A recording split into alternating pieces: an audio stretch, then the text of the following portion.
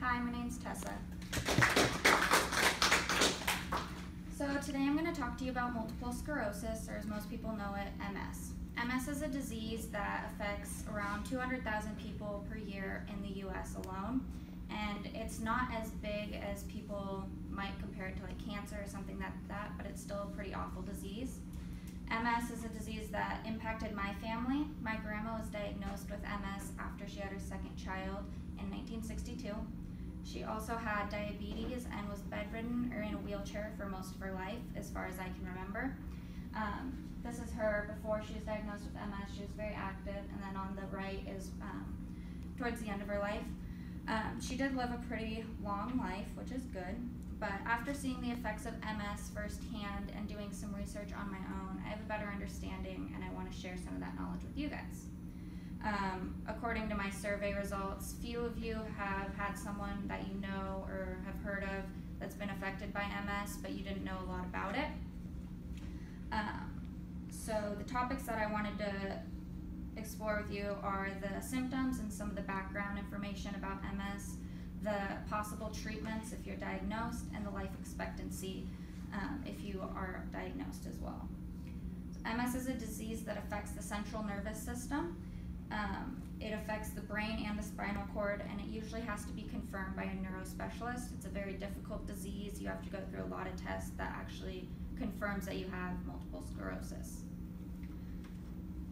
Like I mentioned earlier, fewer than 200,000 people in the US per year are affected, and that's according to the Mayo Clinic. And they there's four types of MS that you can get, but your symptoms depend on the type of MS that you have and just are varied by the individual themselves. Some of the more common symptoms that you can experience are weakness, numbness and tingling, pain, and cognitive changes. And some of the less common symptoms are speech problems, hearing loss, and seizures.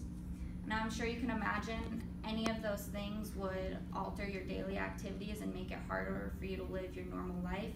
While it's still possible for you to carry out normal day to day and live your normal life with MS, these make it harder in just some of the simplest ways. So, next, I want to talk about the four types of MS. Clinically isolated syndrome is one of the first um, first signs of multiple sclerosis, and it has it isn't enough to be diagnosed as having MS, but it's one of the first stages.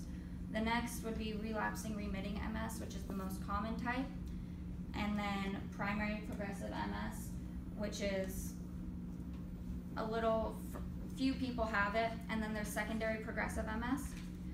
Like I mentioned, relapsing remitting is the most common, and the episodes have infl inflammatory attacks on your nerves and your brain, um, and the symptoms either disappear or they can become permanent. Progressive MS is more targeted towards the spinal cord lesions opposed to brain lesions and inflammatory attacks in, that you experience in relapsing remitting MS. And this is um, a healthy nerve, and then this is what it looks like when you're diagnosed with MS and your nerves are damaged. Um, next, I wanted to talk to you about the possible treatments. Um, as of 2016, MS is still incurable, and there are very few treatments that prove to slow down the rate of progression. Primary progressive, which is the worst of the four types, has no treatments that have proven to slow down the progression of MS. Relapsing remitting, there's medications and you can do physical therapy and everything like that, but um, the earlier you start, the better. However, it's still not a cure for MS. Um, they are doing research and they found some research that helps slow it down, but nothing conclusive. They, uh, one of the studies that was done found that they're trying out stem cell research right now, and it's helping with lesser types a little bit, but still not with the extreme cases of multiple sclerosis. So finally, I wanted to talk to you about the life expectancy if you're diagnosed with multiple sclerosis. Um, in a research study done by the Multiple International or Multiple Sclerosis International, they found that the most um, the easiest way to cope with multiple sclerosis and the way to have the longest life is a positive outlook. Since there's no real treatments for it, they don't have a cure, having a positive outlook and kind of accepting that you have the disease and learning how to live with it is the best way. As I previously mentioned, my grandma was diagnosed in 1962. She was 30 years old around the time, and she lived to be 84 years old.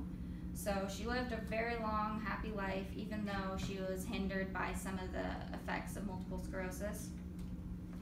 And they don't have, even though there's no treatment, they're still doing more research and they need to raise more awareness and more money for the for the disease and hopefully in the future there will be a cure.